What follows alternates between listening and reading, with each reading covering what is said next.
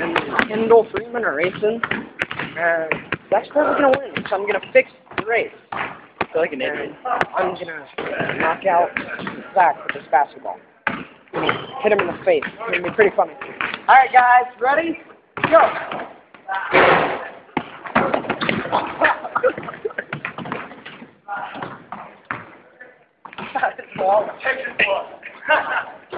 Five. Oh.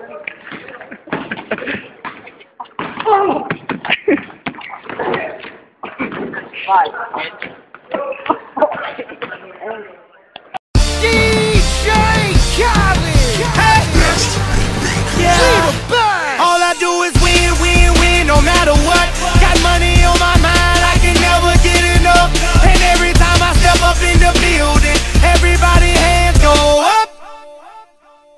and they stay there.